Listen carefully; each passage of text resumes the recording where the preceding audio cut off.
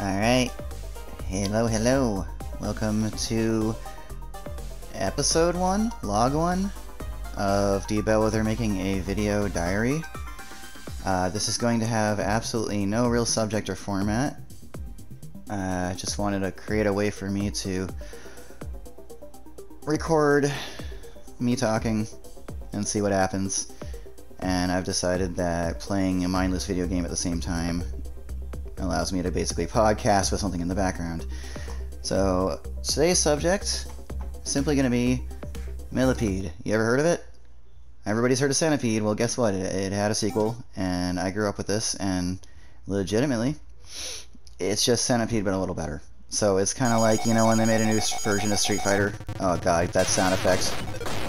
My ears are bleeding. I can't believe we used to think that sounded good. Yeah, here's my impression, 40 years old, playing this now. Um, solid game.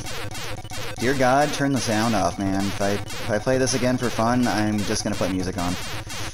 But, uh, yeah, you can see it's basically Centipede, but... Oh, yeah. Oh, that would have been a, that would have been a trophy if I killed the whole thing. Yeah, there's just extra bugs. Different colors. If you, if you have an eye for it, you can kind of see that it looked better but I think you would have had to be a kid at the time to notice that, because you look back at Centipede and this...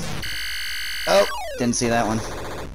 You look back and they're, they're, they're almost the same game. So this is just like Centipede version 1.1, really. And back in the day, like, I know there were all these ports, but there were only two official games in the arcade, as far as I know. At least in the old era. Like, if there were Centipede sequels, and I think they probably were. They they came maybe in the 90s during the first retro revival they kind of had. I mean, there's nothing deeply philosophical to say here that you wouldn't say about every video game, but, I mean...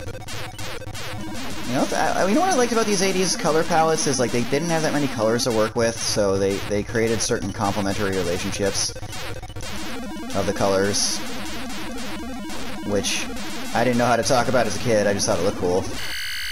But after having been in art school and, you know, I had some decades to think about it, like, you see the way that blue of the, the millipede works with the black fields, and and you can see the blue on the green field at the bottom too, and it just pops out of everything. Like, that's good design, you know? The way they arrange the pixels for the millipede, you never lose track of it, because it's your eye always tracks it. You can learn a lot about life just by observing this shit, you know? So, is that a game?